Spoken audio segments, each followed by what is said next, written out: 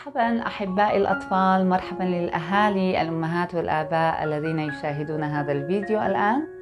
أتمنى أن تكونوا بصحة جيدة وأنكم تستمتعون بهذا الجو اللطيف والجميل في هذا الصيف.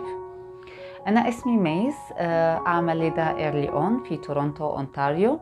اليوم سنقوم بقراءة قصة جديدة وهي بعنوان طابت ليلتك يا ثعلب الماء الصغير. هذه هي القصة. من قام بكتابة هذا الكتاب جانيت هافمان ومن قام برسم رسوم آه هذه الرسوم الجميلة داخل هذا الكتاب آه ويش ويليامز. هيا نستمع للقصة مع بعضنا البعض.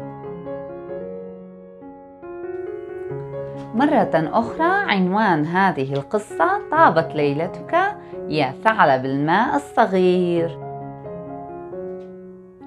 مع غروب الشمس مقبلة غابة عشب البحر تسلل ثعلب الماء الصغير إلى صدر أمه. وماذا أحن من صدر الأم؟ أليس كذلك؟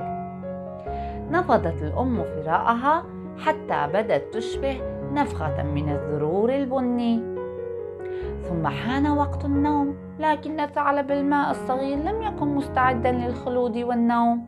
فقال نسيت أن أتمنى ليلة طيبة لفقمات المرفأ. لوح ثعلب الماء الصغير بكفه الناعم كملمس الحرير في اتجاه الشواطئ الصخري وأطلق أطلق صرخة طويلة قائلا طابت ليلتكم يا فقمات المرفأ. وصهلت الفقمات مجيبة طابت ليلتك يا ثعلب الماء الصغير. انظروا كم هو جميل منظر الفقمات على الصخور. تردد حين ذاك نباح عال من الأمواج. فقال ثعلب الماء الصغير آه لا يمكنني أن أنسى أسود البحر. طابت ليلتك يا أب أسود البحر ويا أم أسود البحر ويا صغار أسود البحر فنبحت أسود البحر نوما هنيئا يا ثعلب الماء الصغير. انقض النورس للتحقق من هذا الاضطراب لما كل هذه الجلبة؟ قال نورس مطلقا مطلقا صوتا حادا. أجابته الأم إنه وقت النوم. فصرخ صغيرها ثعلب الماء. طابت ليلتك يا نوراس حسنا إذا يا ثعلب الماء الصغير طابت ليلتك. صرخ النورس بصوت حاد وحلق مبتعدا باحثا عن مكان جيد للراحة حسنا حان الوقت كي تنام قالت له الأم. لكن وقبل أن تتمكن من التفوه بكلمة أخرى غطس الماء. ثعلب الماء الصغير وجهه المكسور بالفراء في الماء الباردة.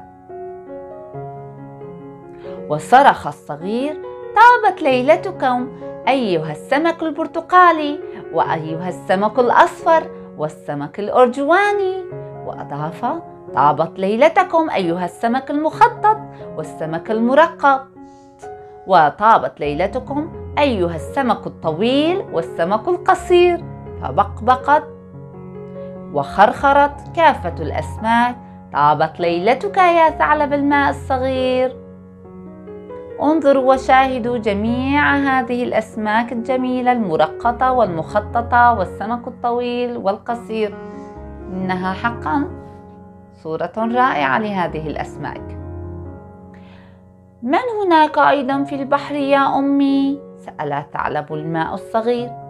فسمت الأم مخلوقا تلو الآخر. فصاح عليهم ثعلب الماء الصغير.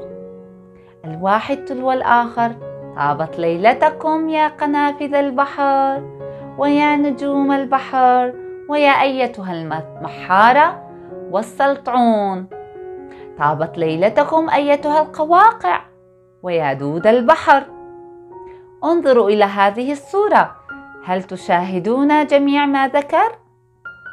قنافذ البحر القواقع ودود البحر هل تشاهدونهم؟ طابت ليلتك يا ثعلب الماء الصغير غنى له المحيط بأكمله مجيبا. فانتظر ثعلب البحر الصغير التمني الأخير بليلة طيبة. ثم سأل أمه هل نسيت أحدا يا أمي؟ الأم أجابت أجل نسيت. قالت رافعة ثعلب الماء الصغير بكفيها نسيتني أنا. آه تعبت ليلتك يا ماما. قهقه ثعلب الماء الصغير ضاحكا. فتقلبت الأم في عشب البحر وهي تدور ضامة ثعلب الماء الصغير إلى صدرها. وما لبث أن التفا كلاهما بشريط من الطحلب البحري يحميهما من الانجراف بعيدا خلال الليل. آه أو ماما نسيت أن أتمنى ليلة سعيدة للقمر والنجوم. قال ثعلب الماء الصغير. طابت ليلتك أيها القمر. طابت ليلتك أيتها النجوم الكبيرة والنجوم الصغيرة. طابت ليلتك. وأغمض ثعلب الماء الصغير عينيه ببطء. وهدلت الأم بصوت دافئ. طابت ليلتك يا صغيري ثعلب الماء مقبلة رأسه المكسو بالفراء هامس البحر نوم هنيء نوم هنيء أتمنى هذه القصة قد نالت إعجابكم. هذه القصة حقا إنها رائعة آه، قبل النوم وهنا الكاتبة تقوم بتذكير رائع للأطفال آه، بجميع الأشخاص الذين يحبونهم ويفكرون بهم آه، طوال اليوم. هنا يقضي ثعلب الماء الصغير على النوم مع ليلة سعيدة ويتمنى ليلة سعيدة لجميع المخلوقات البحرية. هنا تكشف الكاتبة أيضا على عالم البحر الواسع والمخلوقات فيه فمن خلال استماع الأطفال لهذه القصة قد يتعرفون على آه، عالم البحر الواسع وعلى جميع المخلوقات البحرية التي فيه وعلى الألوان هذه المخلوقات. آه، وهنا أيضا تكشف الكاتبة الكاتبة على دعم الأم الصبور لفضول طفلها وعلاقاتها بعالمها البحري. أتمنى أن تكون هذه القصة قد نالت إعجابكم وإلى اللقاء.